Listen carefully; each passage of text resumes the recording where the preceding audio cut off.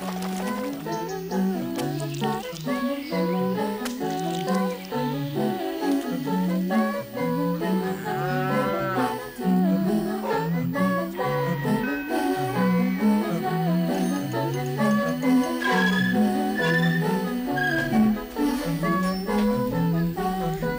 in Van Gewest tot Gewest. Hoe komt het dat het Utrechtse dorp Woudenberg zoveel transportbedrijven heeft? Uit het Polygoonarchief. In 1934 vertrok de onderzeeboot K-18 voor een wetenschappelijke opdracht naar Indië. 20.000 mijl over en onder zee. De vondst van een middeleeuwse koggenschip in de Flevopolder. Het begin van een speurtocht naar de handelsvaart op Oostland. Goedenavond. Truckers, de Vlam in de Pijp en Routiers Internationaal. Het is allemaal begonnen als kleine familiebedrijven.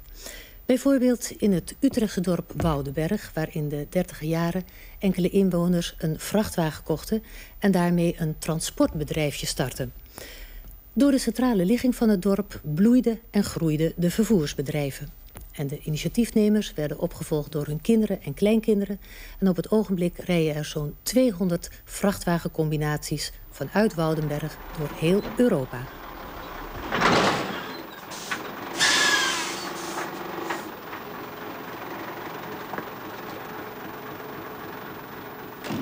Een normaal beeld op zaterdagochtend in de kleine Utrechtse gemeente Woudenberg. Grote bedrijvigheid bij de vele hier gevestigde transportbedrijven. Het werk van de afgelopen week wordt afgerond en tegelijkertijd worden de noodzakelijke voorbereidingen getroffen voor het goederenvervoer van de komende week. Woudenberg heeft zich in ongeveer 50 jaar ontwikkeld tot een transportcentrum van betekenis.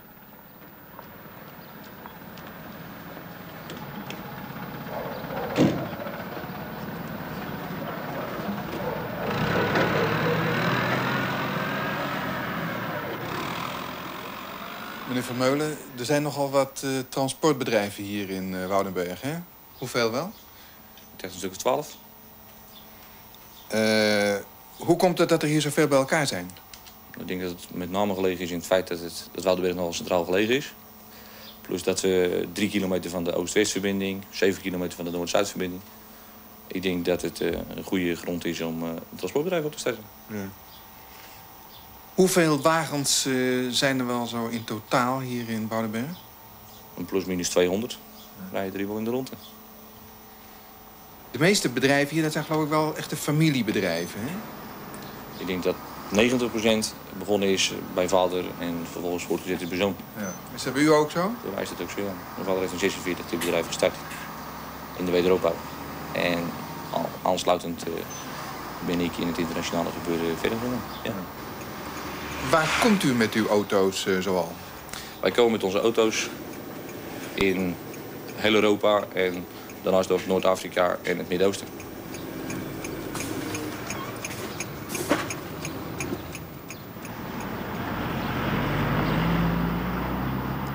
Behalve het bedrijf van Dick Vermeulen zijn nog drie transportbedrijven gevestigd op een stuk grond aan de rand van de gemeente dat drie jaar geleden tot industrieterrein werd verklaard. Sinds twee jaar zijn we hier gevestigd. Voorheen zaten wij eh, in de kern van het dorp waar eh, de totale oppervlakte was maar 2500 meter. En dat was niet toereikend genoeg om daar nog bedrijven uit te oefenen. Nee. Uitbreiding was onmogelijk geworden ja. door de bebouwing eromheen. Het is een, een familiebedrijf, geloof ik, hè? Inderdaad. Hoe, hoe zit het ongeveer in elkaar? Hoeveel broers en zo? Mijn vader heeft het bedrijf gevestigd in 1939. En na de oorlog is het bedrijf uh, verder ontwikkeld en zich uitgebreid. En toen de zonen groot werden, waar ik ook een uh, van ben, toen uh, zijn er inmiddels vijf zonen in het bedrijf gekomen. Hoe duur zijn eigenlijk die, die grote combinaties tegenwoordig? Dat is afhankelijk van de uitvoering. je kunt stellen dat het trekkende eenheid, dat is eigenlijk het kleinste gedeelte, toch minstens 150.000 gulden kost. Terwijl het, het getrokken voertuig ook nog, nog eens 60 à 150.000 gulden kost. Dus het loopt wel tot 3 ton toe? Kunt je wel stellen. Meneer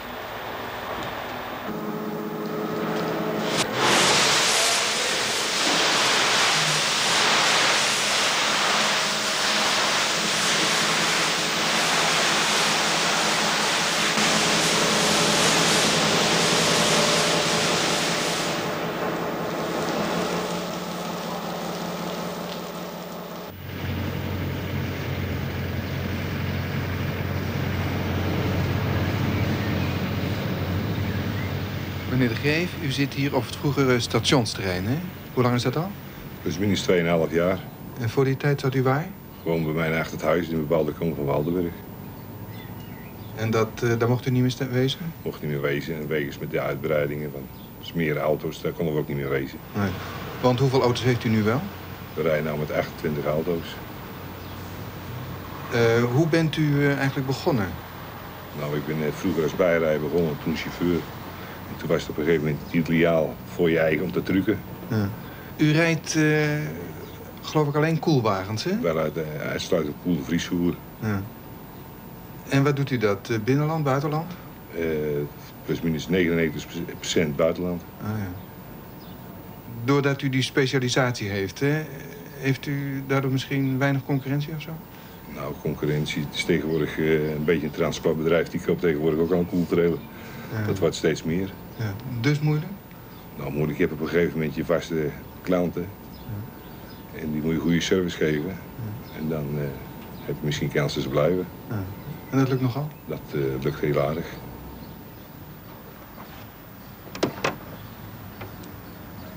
Het vierde transportbedrijf op het industrieterrein vervoert vooral auto's.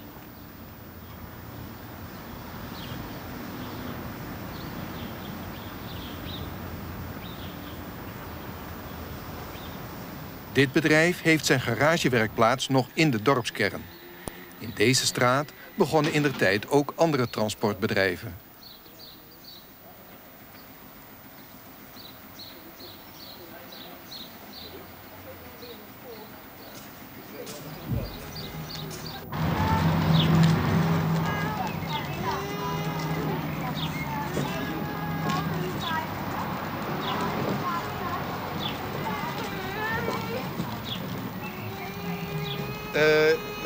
U zit hier met uw bedrijf uh, nog in de bebouwde kom van uh, Woudenberg, hè? Ja, daar zitten we nu, ja. Heeft u wel genoeg ruimte hier? Dat hebben we niet. Maar de grote centratie van ons bedrijf is wel gestationeerd in Sheerness of Vlissingen. Omdat daar onze trailers uh, normaliter staan. Oh, ja. Afgekoppeld, die dus ter verscheping naar Engeland of van Engeland naar Nederland gaan. Ja. Maar u blijft hier zitten op de plek waar u zit? Met uw Misschien nog een jaar of twee, drie. En dan uh, verkassen we naar het industrieterrein? Is nog niet bekend. Oh. Goedemiddag, met, met Van Bentem in Woudenberg. Meneer Schutijzer van u. Dank u wel. De organisatie van de transporten vergt veel werk. De kunst is de wagens nooit leeg te laten rijden. She would bring me back because she rang Q Nagel to complain. And uh, she would bring me back why the people didn't accept the goods. Oké, thank you. Goodbye.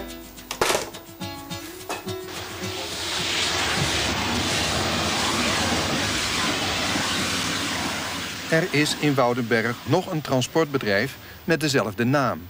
Het zijn neven.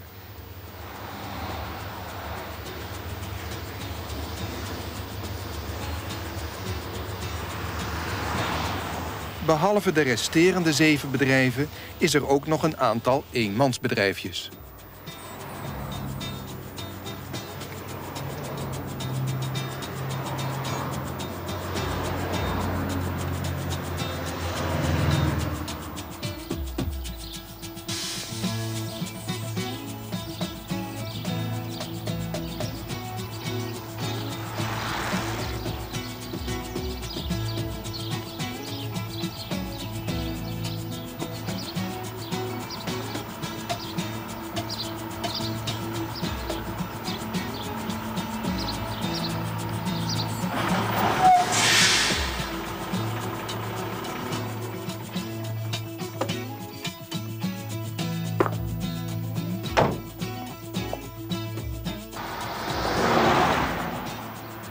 Transportbedrijf dat in de 60er jaren wegens ruimtegebrek uitweek naar de buurplaats Scherpenzeel, komt nu terug naar Woudenberg.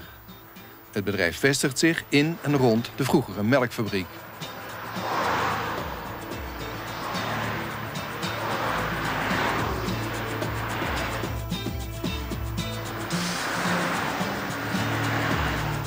Hoe staat het met de onderlinge concurrentie? Hebben we niet onderlinge concurrentie van Woudenbergse bedrijven hebben we niet. Want de markt is groot genoeg? De markt, uh, wij hebben allemaal aparte deelmarkten. Oh. Ik ben gespecialiseerd in bulkvervoer en ferrytransport. Dat doet geen mens in Woudenberg. Nee, nee. En zo de anderen die zijn weer gespecialiseerd in chemie en, en van allerlei soorten andere vervoer. Ja. De onderlinge verstandhouding is perfect. We hebben een hele goede onderlinge saamhorigheid. Als er problemen zijn of als er dingen zijn, we kunnen altijd beroep doen op mekaars uh, mogelijkheden. En iedereen is eigenlijk, staat eigenlijk altijd voor de ander klaar.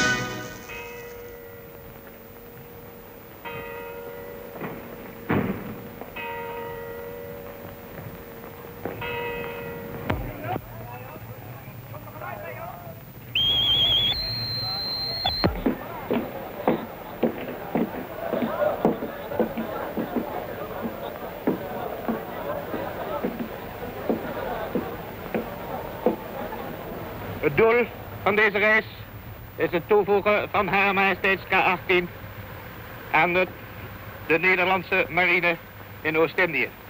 Tevens wordt echter deze reis gebruikt om de professor Veding Meines in de gelegenheid te stellen zijn waarnemingen betreffende zwaartekrachtmetingen belangrijk uit te breiden. Dit is de wereldberoemde geofysicus professor dr-ingenieur Vening Meines. Waarvan morgen wordt herdacht dat hij 100 jaar geleden in Scheveningen werd geboren. Tijdens de populaire tocht van de onderzeeboot K-18 in 1934 zou hij belangrijke zwaartekrachtmetingen doen. Van die tocht werd een uitvoerig filmverslag gemaakt.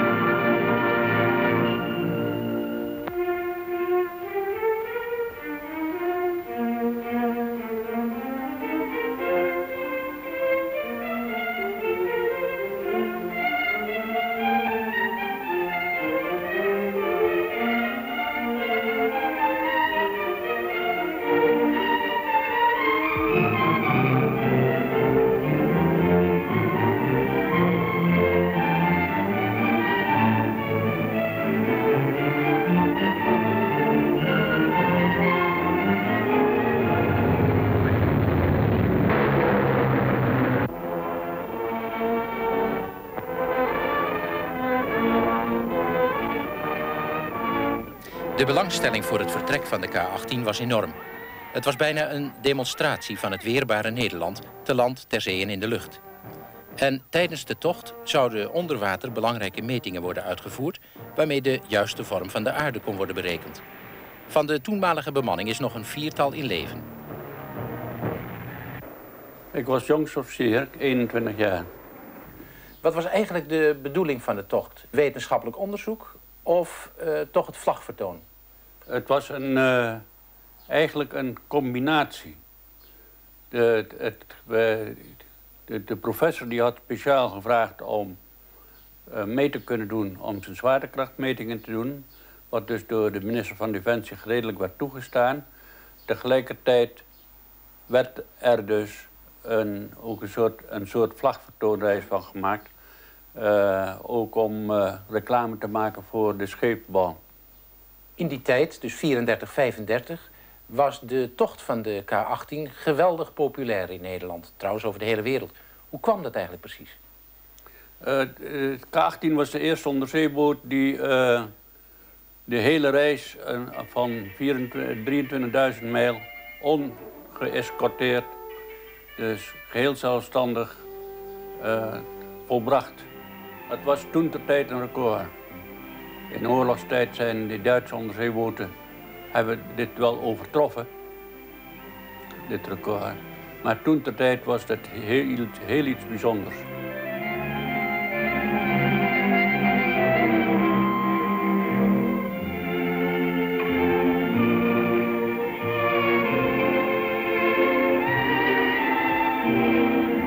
Nu werd er aan boord veel uh, gefilmd. Was dat niet lastig of was dat een hele dat opwinding? De, groot, de, grootste liefhebberij van de oud-sorcier, de heer Wittema. En die had daarvoor een handtoestel van Amerikaans makelij. Hij had er een grote studie van gemaakt. En hij was dus ook fanatiek bezig om alles te filmen wat los en vast was. Juist om later daar, uh, dit aan elkaar te hechten om één grote film te maken. Wat, hij dus beschouwde als zijn beste resultaat was uh, de boot te filmen als hij boven water kwam. En dat moest dan zo spectaculair mogelijk gebeuren. Dus hij zat in een jolletje. En wij hielden hem dus in de gaten door de periscoop. En op commando van de commandant werd er dus een helling aangenomen van ongeveer 30 graden. En meteen alle hoofdtanks geblazen. Het schoot er omhoog, ja, die neus die kwam omhoog. En dat ziet u dus op die film ook.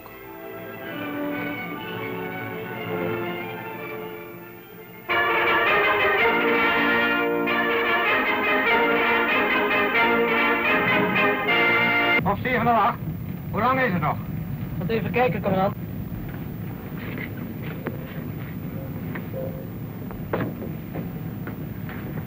Het zal ongeveer drie kwartier duren voor we er zijn, commandant. Laten we dan maar klaarmaken voor onder water. Klaarmaken van de water, commandant. Beneden, klaarmaken voor onder water. Klaarmaken voor onder water. Schipper, klaarmaken voor onder water. Klaarmaken voor onder water.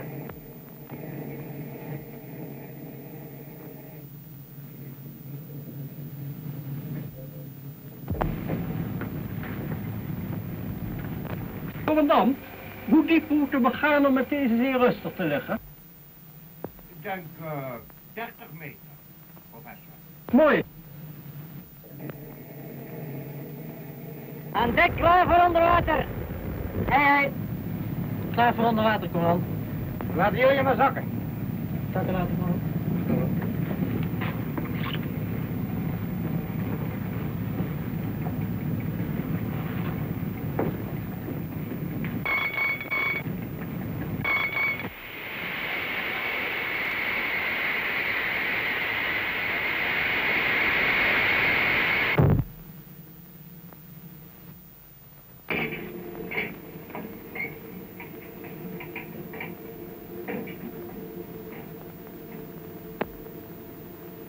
Beide machines half vooruit.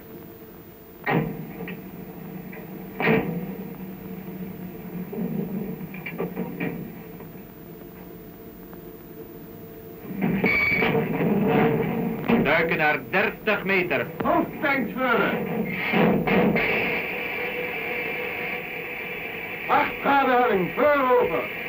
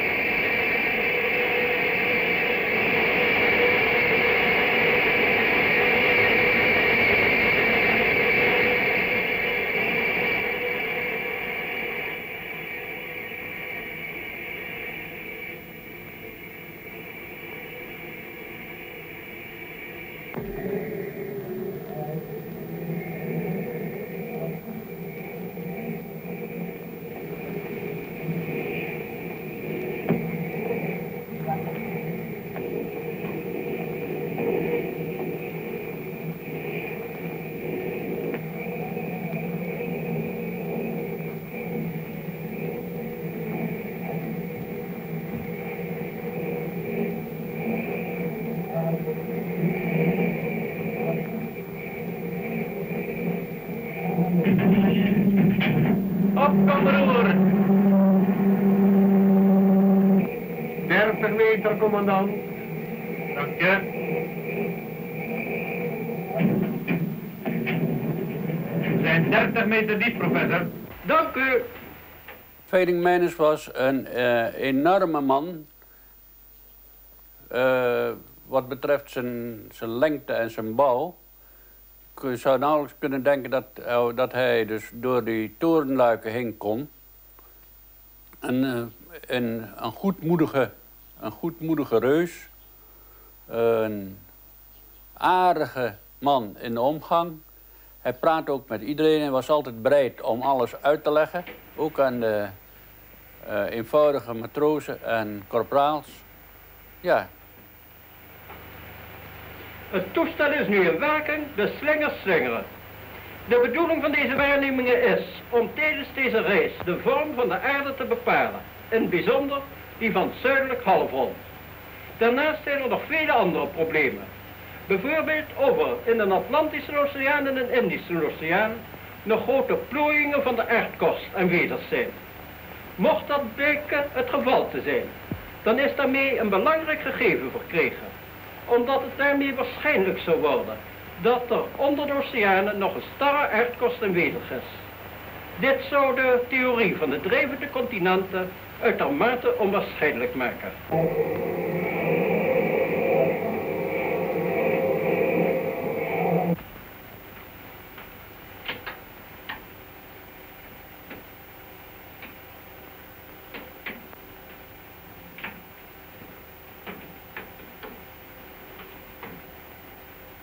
Ik ben klaar. Wat mij betreft kunnen we weer naar boven.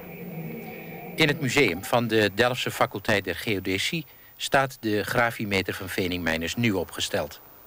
Met dit slingerapparaat bereisde hij in Nederlandse onderzeeboten 200.000 oceaankilometers.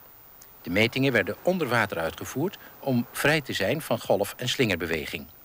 Dankzij de vele duikuren werd de slingermeter bij de marine het Gouden Kalf genoemd.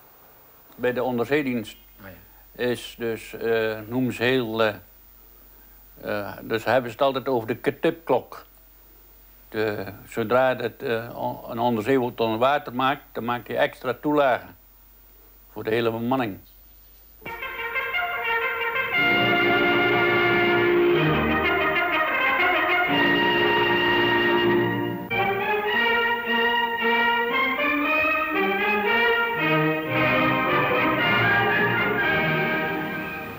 Voor ons, officieren, onderofficieren en manschappen, is het een grote eer geweest dat wij onder bevel van onze commandant aan het welslagen van de reis mochten medewerken.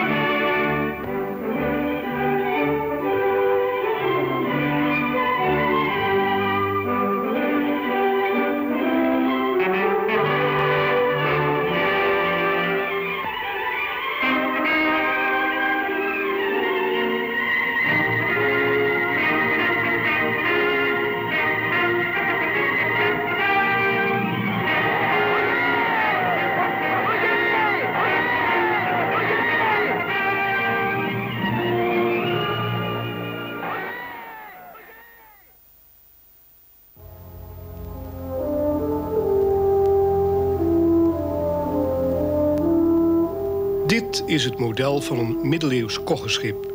Tot voor kort een compleet mysterie.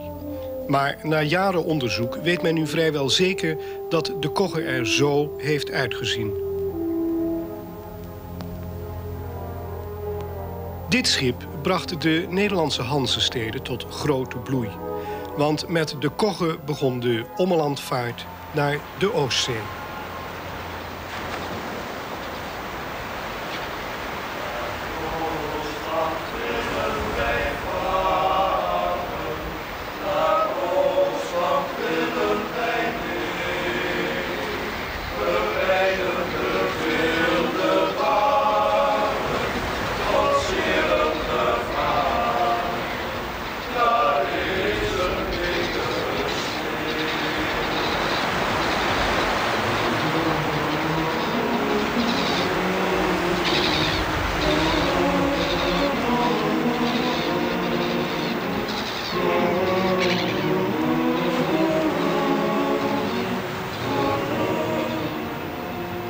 Onmetelijkheid van oostelijk Flevoland zijn archeologen van de Rijksdienst IJsselmeerpolders bezig met een unieke opgraving.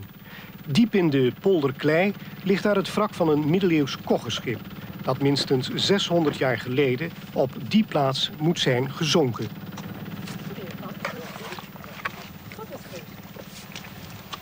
wat is dat? Is dat een nagel van een beestje of zoiets? Iets Wat wij gevonden hebben, dat is uh, twee jaar geleden geweest... tijdens een uh, toevallige verkenning hier. Een aantal stukken van een schip in de greppels die hier op het land zijn te zien. En die hebben we dus verder verkend en daar is uitgebleken... dat we met een uh, laat middeleeuws schip zeer waarschijnlijk wat te doen ja. hebben.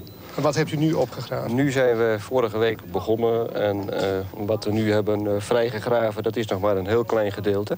En dat is waarschijnlijk de stuurboordhelft van een uh, vrij compleet laat-middeleeuws schip. Het bleek inderdaad een middeleeuws koggenschip te zijn. Grotendeels compleet. De kogge was het belangrijkste schip van de middeleeuwen... en het begin van de grote Nederlandse zeevaart. Toch was er weinig over bekend. Alleen wat primitieve afbeeldingen. In een gerechtsboek van de stad Kampen en in het stadszegel van Harderwijk.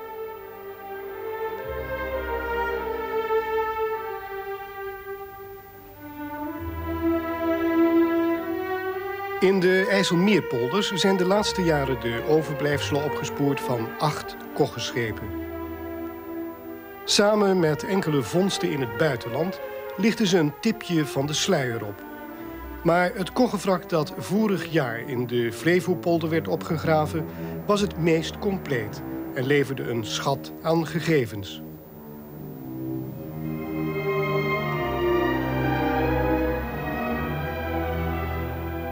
De overblijfselen van het schip werden zorgvuldig gemeten en in tekening gebracht. Zo kwamen de scheepsarcheologen erachter hoe de kogge in de middeleeuwen werd gebouwd. De planken van zo'n koggenschip in de zijde die waren dus overnaast aan elkaar bevestigd. Dat wil zeggen dus dat ze over elkaar heen lagen. En ze waren dan van buiten naar binnen bevestigd met spijkers... die dus aan de binnenzijde weer teruggeslagen waren in het hout. Dit is zo'n voorbeeld van zo'n oude spijker. Met een vierkante schacht, zoals we zien. Hoe uh, kregen ze zo'n schip nou waterdicht? Het schip werd waterdicht gemaakt doordat aan de bovenzijde van de binnenste huidplank een schuin naadje werd gemaakt. Ja. En daar werd dan mos tussen gestopt. Ja. Over dat mos heen daar werd een moslatje aangebracht om het mos op zijn plek te houden. En dat moslatje werd dan weer bevestigd met sintels.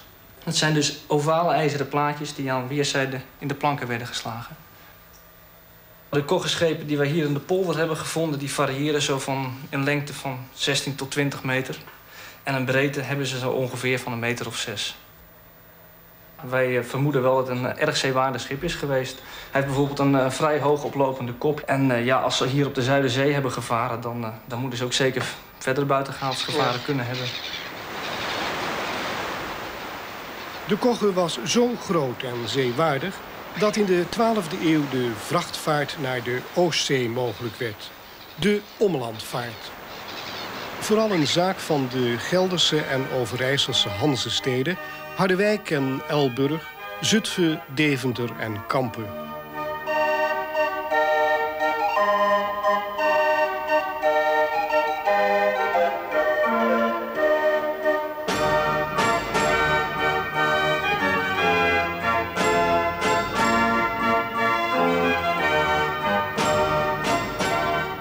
De Oostzeehandel bracht daar welvaart en macht.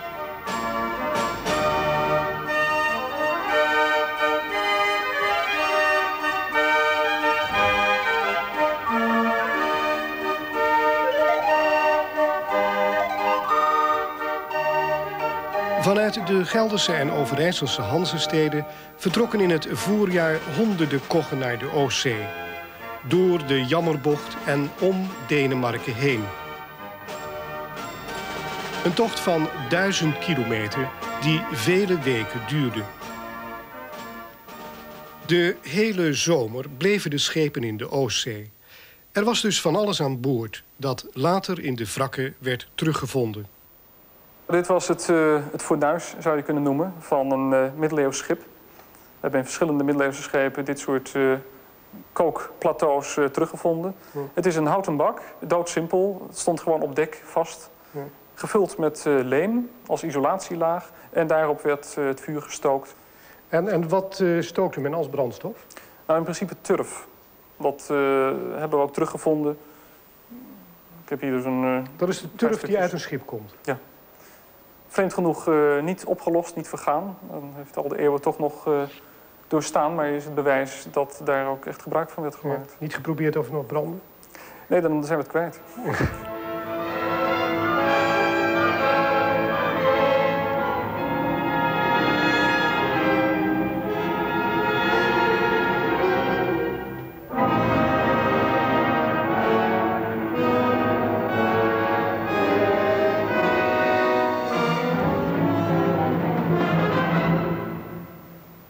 Wat uh, restanten ook uh, niet compleet, maar duidelijk uh, genoeg. Speerpunten. de houten schacht, die dus hierin gezeten heeft, is ook weer weggerot. Maar de, de, punten spreken voor zichzelf en agressief genoeg. Er zijn oorlogen geweest, maar ook zelfs piraterij kwam wel voor. Ook op de Zuiderzee zelfs.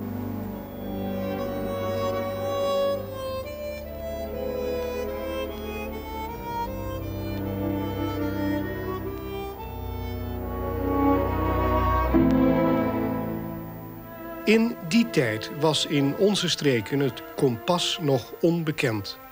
Hoe vonden de omlandvaarders dan hun weg naar de Oostzee? Uh, heel eenvoudig, door uh, visuele oriëntatie. Dus domweg de kust in de gaten houden. Er zaten gevaren natuurlijk aan, omdat juist die kust uh, veel ondiepte kende. Daar was ook het meest belangrijke hulpmiddel het pijlood. Waarmee men controleerde of de, de afstand of de diepte eigenlijk nog uh, voldoende was.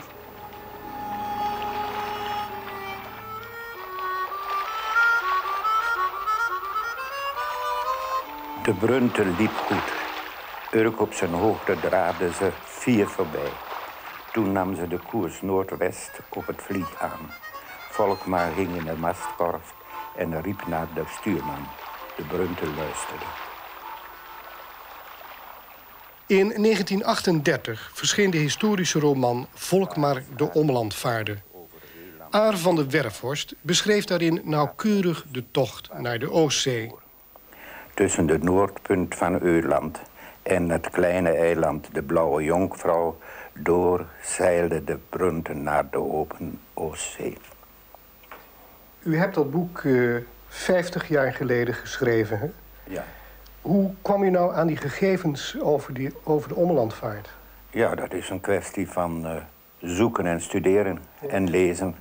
U hebt, meen ik ook, op een gegeven moment een oude zeekaart gevonden, hè? Ja, de geschreven zeekaart ja. die daar in, in het archief in Kampen was. En dat was een kaart van de omlandvaart?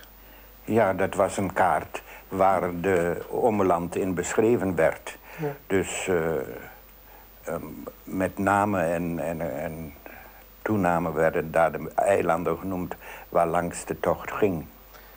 En u hebt dat zelf gedaan ook, die omlandvaart? Ja, ik heb hem ook gemaakt bij vrachtboot.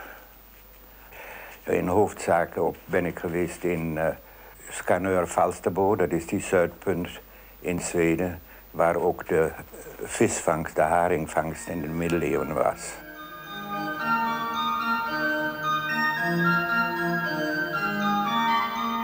Niet alleen haring, maar ook hout en graan haalden de ommelandvaarders in Scanuur. Ze brachten er laken uit Brugge en wijn uit het Duitse Rijnland. Maar ze voeren ook naar Bergen, Visby en Novgorod. De handel bloeide.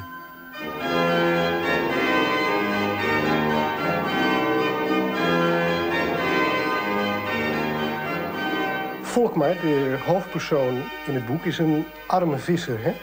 Geen belangrijke historische persoonlijkheid. Nee, maar dat, die nadruk op de arme visser... hij was gewoon een doodgewone visser. Zoals er toen eh, tientallen en honderden waren. En uh, natuurlijk was het geen historische figuur. Dat heb ik met opzet gedaan, omdat ik vind dat... Eh, nou ja, bij wijze van spreken de bisschop van Utrecht... Als die in Kampen kwam... dan werd uh, later uh, van zijn bezoeken altijd weer genoemd in de, in de boeken, maar over de eenvoudige vissers waaruit tenslotte Kampen is opgebouwd. Door hun werk is Kampen groot geworden.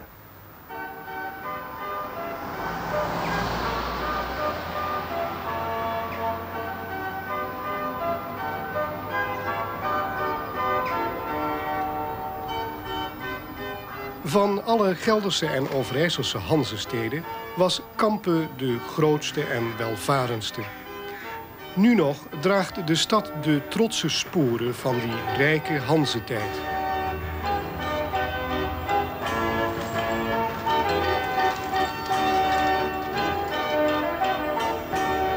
De Hanzesteden hadden niet alleen een handelsverbond, maar onderhielden ook internationale culturele contacten. Daardoor zijn er duidelijke overeenkomsten tussen de bouw van Kampen en die van Lübeck, de hoofdstad van de Hanzen aan de Oostzee.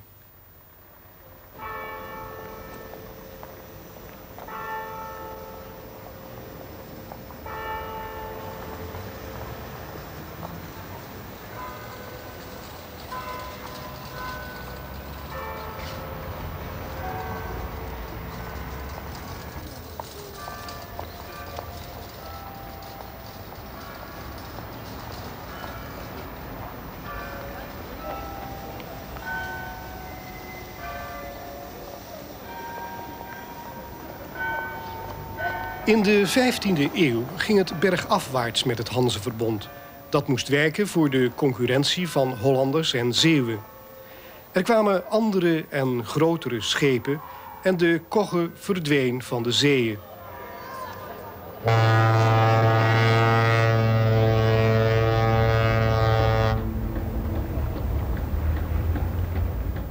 In de rivier de Wezer bij Bremen werd 20 jaar geleden een koggeschip gevonden. Na zes eeuwen kwam het nog tamelijk gaaf boven water. En daarmee begon een miljoenenproject.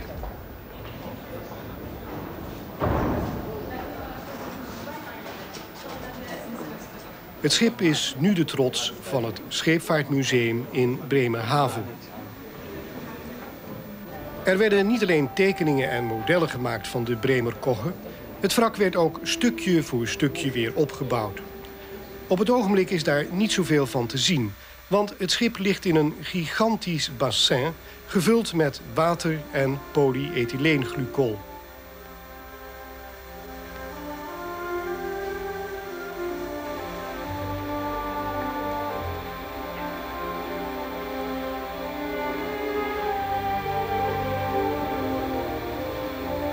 Dieses Schiff hat ja fast 600 Jahre lang unter Wasser gelegen.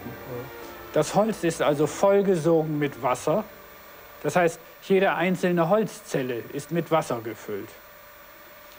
Wenn dieses Holz austrocknen würde, dann würden die Zellen zusammenklappen, weil sie nicht mehr so stark sind in ihrer Zellstruktur wie das frische Holz. Und jetzt macht man ist so, dass jede Zelle eine Art inneres Stützkorsett bekommt, mit Hilfe eines wasserlöslichen Wachses. Das ist dieses Polyethylenglykol. Ja. Wie lange soll die Kogge darin bleiben? Sie muss so lange darin bleiben, bis alle Hölzer ausgefüllt sind oh. mit diesem wasserlöslichen Wachs. Und das dauert bei diesen großen Balken, die wir haben, die immerhin diese Dicke haben, ungefähr 20 Jahre. Aber Sie haben Fenster drin. Wir haben Fenster drin, sodass man diesen ganzen Konservierungsprozess beobachten kann.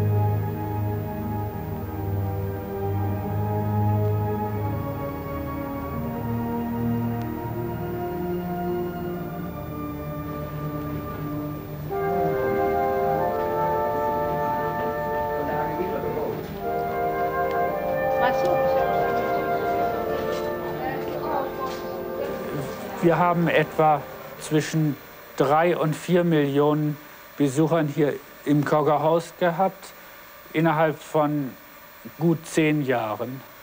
Also eine Attraktion. Eine große Attraktion, die auch vom Publikum sehr gut aufgenommen wird. Het museum verkoopt ook een bouwplaat van het koggeschip en laat zien hoe kogge en Hanze als merk worden gebruikt.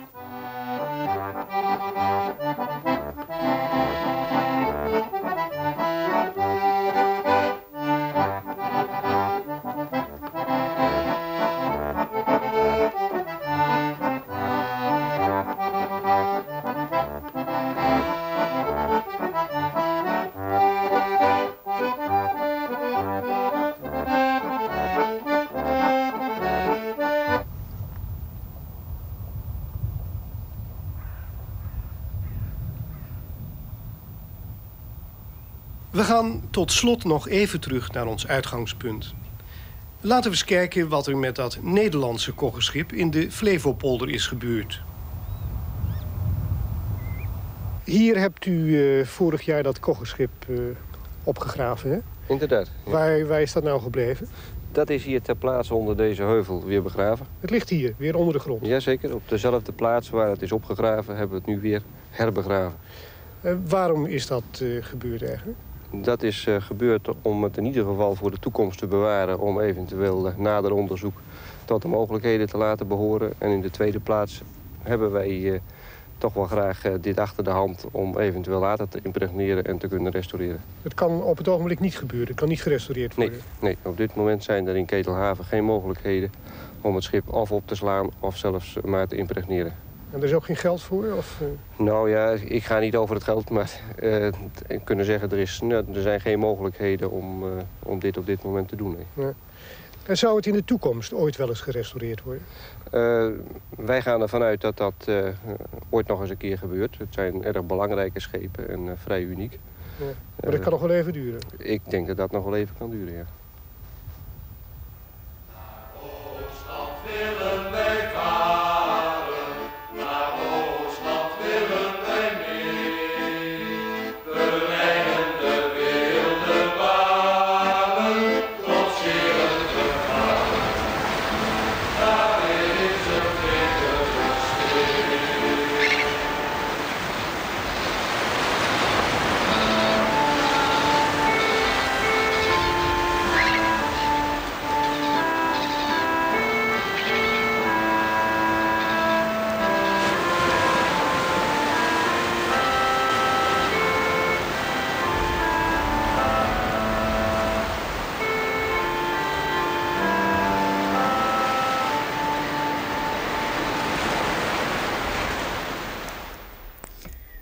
De boten blijven ons bezighouden, want volgende week woensdag vaart van gewest tot gewest weer.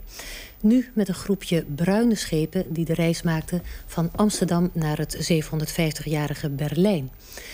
En verder ziet u een reportage over het eh, Poldermuseum bij de Nieuwkoopse Plassen. We hebben die reportage al een keer eerder uitgezonden. Volgende week ziet u dus de herhaling.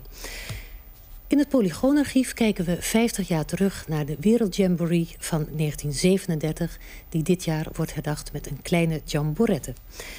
En dan laten we u nu nog een eh, fragment zien van de reis met de bruine schepen van Amsterdam naar Berlijn. Graag tot volgende week woensdag. 11 juli vertrokken zo'n 20 oude bedrijfsvaartuigen uit Amsterdam naar Berlijn. Om daar het 750-jarig bestaan mee te vieren.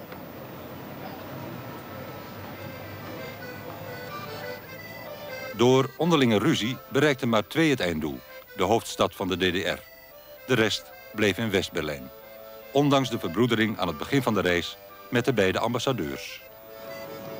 Wir fahren nach Berlin zusammen, ja, zu drei. Aber ich bin die, nur die Einige an Bord, ja. Aber die beiden Kameraden sind bei mir, ja. Die sind zu Hause, ja. Woensdag in Van Gewest tot Gewest, verdeeld naar Berlijn.